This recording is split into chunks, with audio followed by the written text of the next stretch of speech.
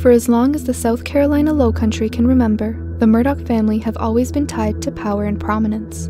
As the son of three generations of district attorneys, Richard Alexander, or Alec Murdaugh, had big shoes to fill.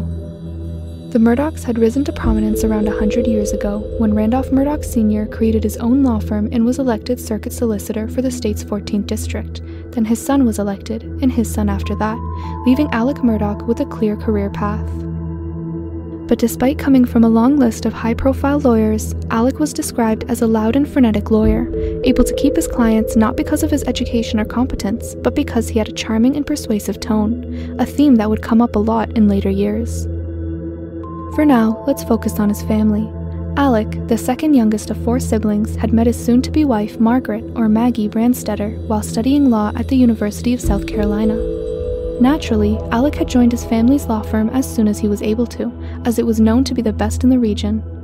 Sources say they could turn a $100,000 case into a million dollar settlement. They would send gifts when people graduated, pay for funerals, and visit people who were in the hospital. It's safe to say that their influence in the region ran deep, the Murdaughs were basically authority in the Low Country. In 1996 and 1999, the couple had two kids, Buster and Paul Murdaugh, both of whom enjoyed the wilderness and shooting at their family's hunting lodge, just outside of town. The family was both loved and feared by the small town of Hampton, but as you'll soon see, members of the Murdaugh family were capable of dangerous things.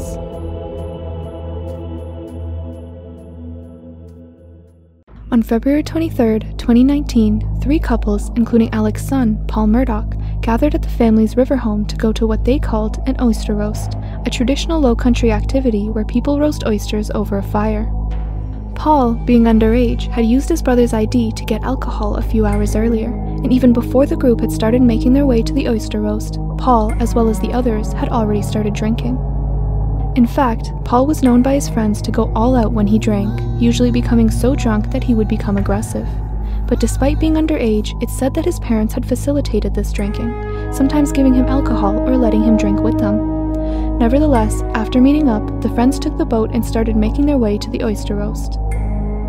In a deposition later given by one of the people on the boat that night, the decision to take the boat was to avoid the police that would be on the roads during the night, since they were drinking underage.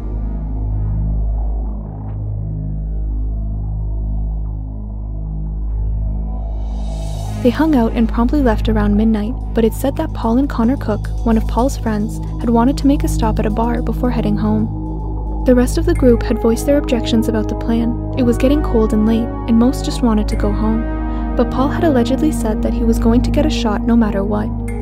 So around 1 a.m., the group arrived at Luther's bar, where Connor and Paul walked into the bar and consumed even more alcohol while the others waited for him. His friends later recounted that Paul became out of his mind drunk.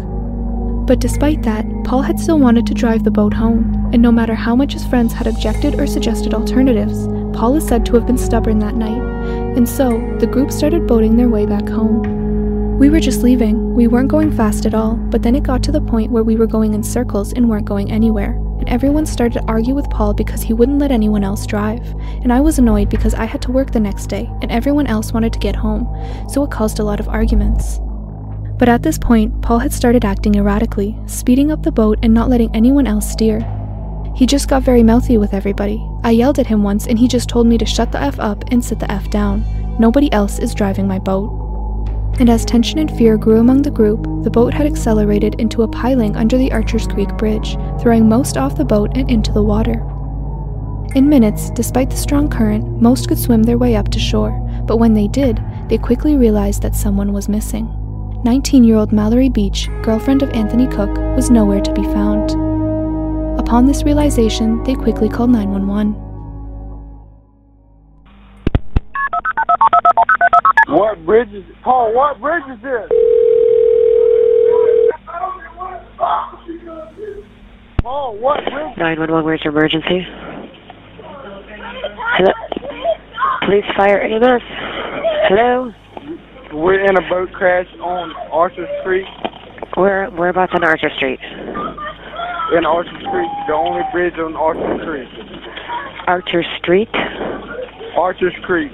You, Okay. And then, well, who's that in the background? there's there's six of us and one is missing. Okay, there's six, but one is missing. So six. Do you guys they have life jackets on? Yes, ma'am. We have we have more than enough life jackets, but we're on the bank. So you're missing. Who's missing? Uh, female Mallory Beach is missing. Okay. Where?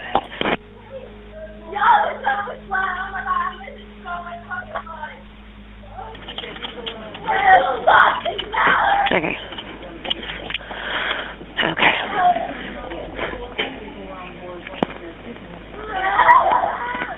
Give me that. At this point, police had started to show up. So we got five, six total, five accounted for. Yes, sir. Okay. Started going out, and they they were running this way when they hit the bridge, so she probably got ejected, and the current carried, carried her down that way. Listen, man, my mom Okay. works. My mom works for Sled. Okay, listen, All right, that's cool. I works done for told you you're not in trouble. I alright? ain't Do you want to call that. I need Did to call call her. her? I need to call her.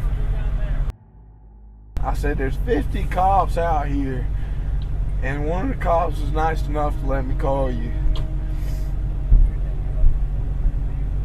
Mom, there's 50 cops here, Coast Guard, everything. We can't find Mallory.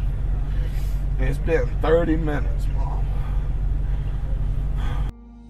Hey, road, you You it. get that motherfucker right there away from me.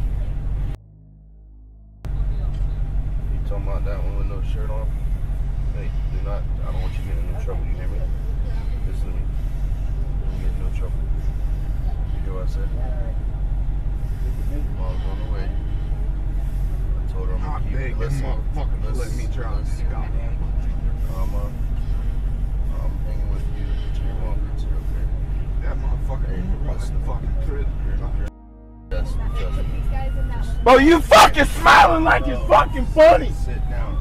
My fucking girlfriend's Sit gone, down, bro. sit- sit down. You think it's fucking funny? Sit down. Sit down. Sit down. And that's when he was going way too fast. So I don't even know. I finally got to the point I grabbed my girlfriend and put her in my lap in the bottom of the boat and was holding on with my eyes closed. The next thing I know, I'm in the fucking water and I can't find her,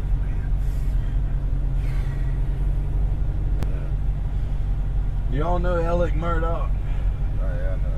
That's his son. That So- driving the boat. Good luck. But hours went by and Mallory was nowhere to be found, kicking off a search and rescue mission for local police and volunteers. For eight days, dive teams, rescue boats, and helicopters went looking for Mallory, considering it a rescue mission. Until, on March 3rd, around 10 days after the initial crash, Mallory was found by volunteers around 8 kilometers downstream, deceased. According to officials, she died from drowning in blunt force trauma. Later, Paul was charged in court with three felony charges related to the death of Mallory, but was released on a $50,000 bail while awaiting trial. Many say that this is when the downfall of the Murdaugh family had started. After discovering that Mallory was killed because of Paul's recklessness, many turned against Paul for his excessive drinking and his parents for their negligence. Depositions from various people on the boat that night seemed to incriminate Paul even more. A nurse who treated some of the injured had also said that Paul had been cursing, demanding, and had an attitude while at the hospital. And the public had started to notice the preferential treatment Paul was getting in court. He wasn't handcuffed or processed in a detention center. He wasn't given a sobriety test the night of the crash. He wasn't required to wear an ankle monitor or even barred from driving a boat again. At this point, the public was starting to lose respect for the Murdaughs. But in 2021, things would change once again.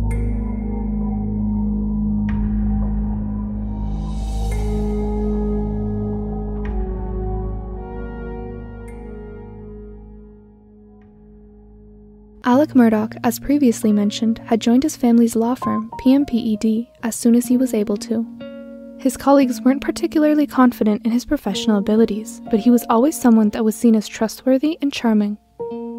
That's why, when the company's CFO found clues that Murdaugh might be stealing client settlement money, she brushed it off as another one of Murdaugh's sloppy habits. In reality, Alec Murdaugh had opened an account at the Bank of America and called it Forge. So, unbeknownst to the company, instead of sending client settlement money to the legitimate company, Forge Consulting, as they would usually do, Murdaugh would take the checks and deposit them into his own bank account. By June 2021, the company's CFO became more and more sure that Murdaugh was stealing from the company, and so, on June 7, 2021, they went to confront Alec about the suspicious activity. But that night, something happened. Secure at a Whiskey Fox, Whiskey Mike, both gunshot wounds to the head. Sir, I want to let you know because of the scene, I do. I did go get a gun and bring Okay, it down here. it's in your vehicle? It- I just- Do you have any guns on you at all? lean- no, sir. It's leaning up against the side of my car. Okay, You're, you're fine, man. You're fine. Turn around for me. I don't. On the night of June 7th, 2021, Alec Murdaugh had said that when he came home from visiting his mother, he'd stumbled upon his wife, Maggie, and his son, Paul Murdaugh, dead with gunshot wounds. At which point, he'd called the police. This is the firearm you brought from inside the house. Yes, sir. Yes, sir. I went and get. This is a long story. My son was in a boat wreck a, a few months back. He's been getting threats. Most of it's been benign stuff we didn't take serious. Okay. Um, you know, he he's been getting like punched. um, I know that's somebody. I know that's what it is. Okay. How did you pull up? You from back there? And I went to the house and they weren't home, which was odd. I tried to call, Okay. and then I knew they had been down here before I left to go to my mom's. Okay. And so uh, that is loaded. Okay. Um, you might want to unload it, but I mean. I'm even checking. They're dead. aren't they? They are dead, aren't they? Y- yes, sir. That's what it, that's what it looks like. Randy. Maggie's taller dead. At around 1 a.m., police started asking Alec what happened. Just start at the top, take your time. Um, like when I came back here, I mean, I pulled up and I could see him, and you know, I knew something was bad. I ran out. I knew it was really bad. My my boy over there, I could see it was.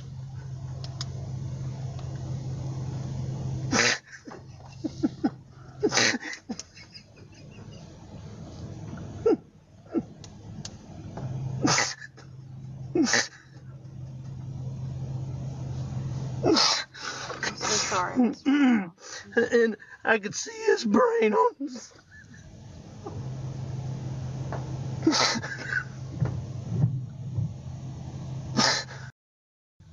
and I ran over to Maggie, and uh, actually, I think I tried to turn Paul over first. Um, uh, you know, I tried to turn him over, and uh, I don't know, I figured it out.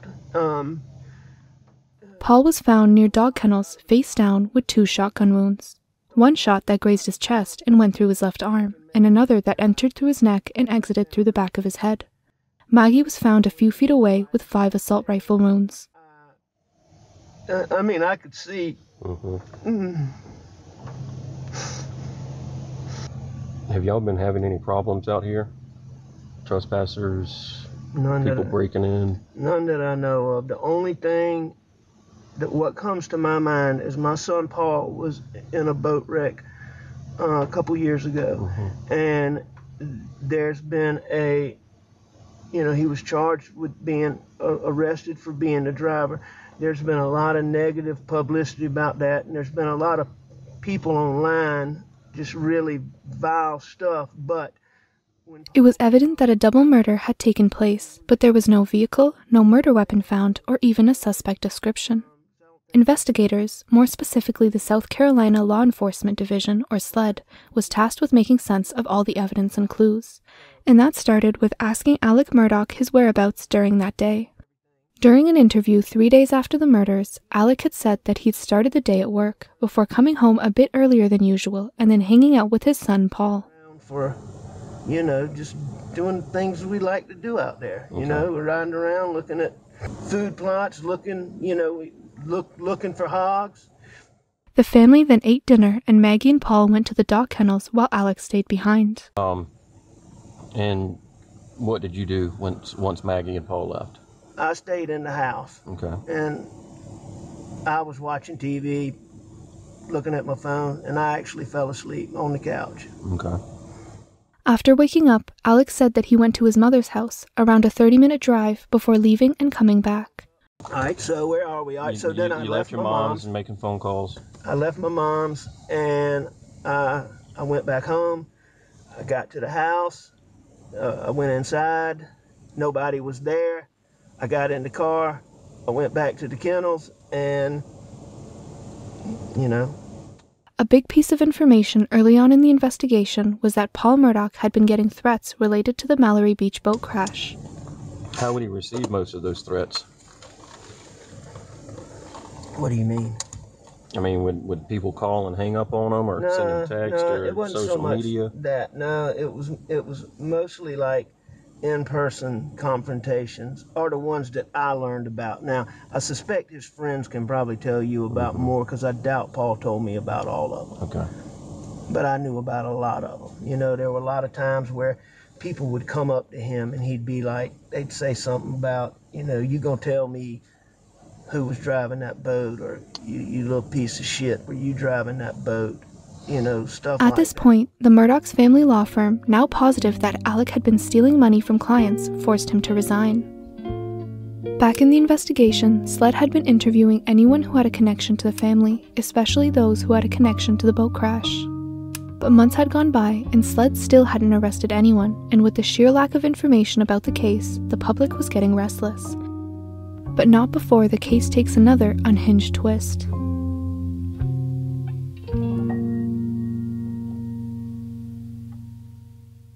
Around three months after the murders, Alec Murdaugh calls 911 again. Hampton County 911, where's your emergency? On um, Salkehatchie Road. Okay, what's the address on Salkehatchie Road? I'm by the church. Uh, What church? here? In the call, he says that while trying to change a flat tire on the side of a road, a car had slowed down as if they were going to help him, but tried to shoot him instead. He was airlifted to a hospital and treated for a superficial gunshot wound, but recovered fully. This incident sparked debates over what enemies the Murdaugh family might have made since the boat crash in 2019. After all, there had been swirling suspicions about what role Alec himself had to play in the deaths of his wife and son, but before that could be answered, it was revealed that the person who tried to shoot Alec was a former client of his, 61 year old Curtis Edward Smith. But in a bizarre turn of events, it was also revealed that Alec had asked Smith to kill him, a sort of botched suicide for hire scheme. Alec had believed that if he died, then his sole surviving son, Buster Murdaugh, could collect $10 million in insurance payments. Around this time, something that was gaining more attention was Alec's apparent addiction to opioids. According to statements from his attorneys, Alec had tried to get through the deaths of his wife and son by using opioids and oxycodone. But when he had tried to quit, he'd been launched into a severe depression and decided to end his life. was in a massive depression, realized that things were going to get very, very, very bad, um, and he decided to end his life. He believed that $10 million policy had a suicide exclusion.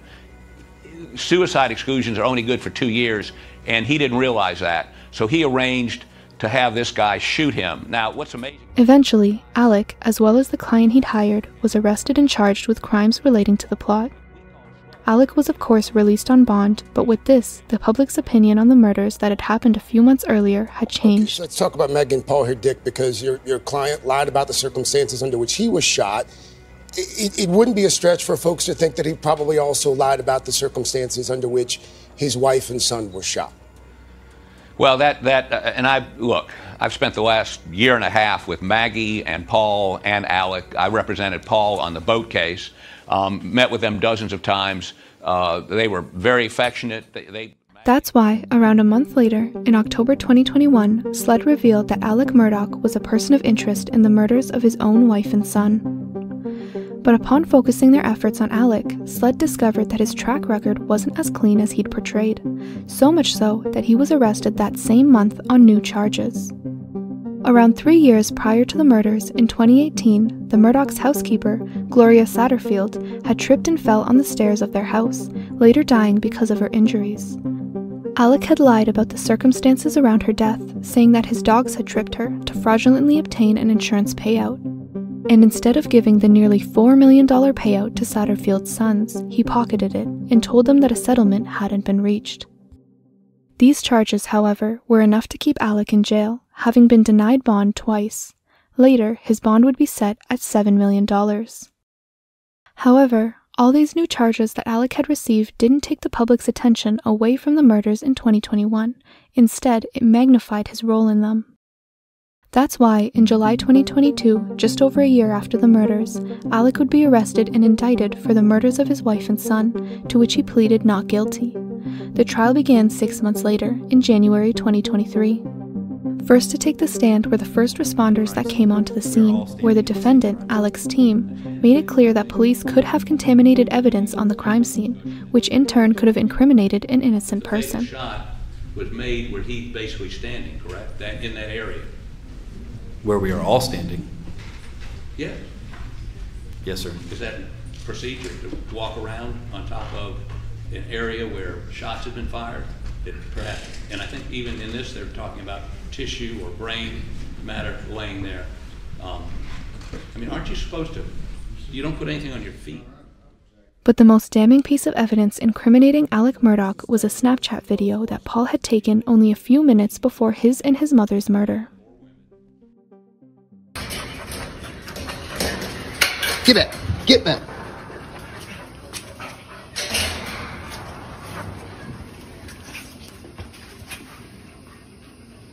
Quit, Cash. Come. Quit. That's okay. Come here. It's not that bad. Come here, Cash. Shit. Come here. Post it. Cash. Hey, he's got a bird in his mouth. Bubba. Hey, Bubba. That's a guinea. This is a chicken. Come here, Bubba. Come here, Cash. Come here, Bubba. Cash. Quit. Alec had always insisted that he had gone to his mother's house the night of the murders and came back to see that his son and wife had been killed. But the video shows that Alec was still there minutes before the murder, meaning he'd lied in multiple police interviews. Mr. Murdaugh, is that you? On the kennel video at 8:44 p.m. on June 7th, the night Maddie, Maggie and Paul were murdered. It is. Were you in fact at the kennels at 8:44 p.m. on the night Maggie and Paul were murdered? I was. Did you lie to SLED Agent Owen and Deputy Laura Rutland on the night of June 7th and told them that you stayed at the house after dinner? I did lie to them. Alec, why did you lie to Agent Owen, Agent Croft, and Deputy Rutland about the last time you saw Maggie and Paul? As my addiction evolved over time, I would get in these situations or circumstances where I would get paranoid thinking. Uh, it, and it, it could be anything that, that triggered it. It might be a look somebody gave me, it might be a reaction somebody had to something I did. Um, it might be a policeman following me in, in a car. Um, that night, June 7th, don't talk to anybody without Danny with you. All my partners were just repeatedly telling me that. I had a deputy sheriff taking gunshot test from my hands. And all those things coupled together after finding them, coupled with my distrust for SLED, caused me to have paranoid thoughts. Former colleagues of Alec were also called to testify about his financial situation. So the next thing that happened was on Monday, May, on June 7th, went to look for Alec, and when I got upstairs, he was standing outside of his office leaning on a file cabinet. And he looked at me with a, a pretty dirty look, one I'd not seen before, and said, What do you need now? Um, clearly disgusted with me, which kind of raised my hackles. So I said, Well, let's go in your office and talk about it. We, we went in his office, I said, I told him, I said, I have reason to believe that you received the Ferris money directly to you, and you need to prove to me that you did not. And um, he assured me again that the money was in there. I told him I still needed to see. The prosecution ended their case by saying that Alec had murdered his wife and son because of a combination of stresses in his life his addiction to opioids, an attempt to distract and delay the investigations into his financial problems, among other things. The pressures on this man were unbearable, and they were all reaching a crescendo the day his wife and son were murdered by him. All on that day. And in the wake of this, everything changes. People stop asking about these things. The community has changed like you would expect. People are concerned, they're scared, they're worried. And everything's changed. The backlash from the boat case has gone away, and all of that has changed. However, experts also testified that the bullet trajectories show that a short person had fired the shots, and Alec Murdaugh is 6'4. One big question in the case was why Alec didn't have any blood on his shirt, shoes, or even shorts. Did you see what appeared to be blood on Alex Murdaugh's hands? I did not. On his arm? No. On his shirt? None. On his shorts? No. On his shoes? I did not. Some had said that this is proof that he couldn't have been the murderer, while others have said that he could have changed his clothes, but police have never found any of Alec's clothes that are drenched in blood. Eventually, on March 2nd, 2023, a little under two years after the murders, Alec was found guilty on two counts of murder and two more on possession of a weapon during a violent crime. In the murder of your wife, Maggie Murdaugh, I sentence you for a term of the rest of your natural life for the murder of Paul Murdaugh. With Alex sentenced to life in prison and his crimes unfolding the way that they did, the Murdaugh family's fall from grace was one in slow motion, with one crime being revealed after another, magnifying his role in the deaths of his wife and son. What was odd about this case, though, was the lack of incriminating evidence found at the crime scene itself, and how Alec was able to fly under the radar for months before he was arrested. For now, Alec stays at the McCormick Correctional Institute in South Carolina.